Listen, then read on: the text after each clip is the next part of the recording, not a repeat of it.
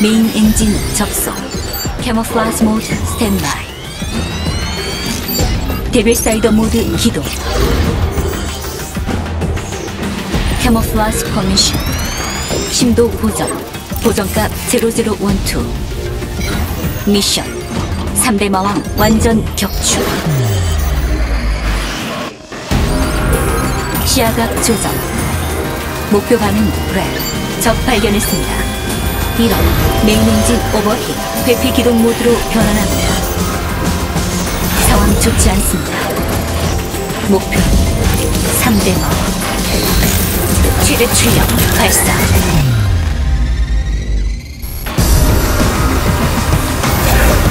목표 섬멸하였습니다.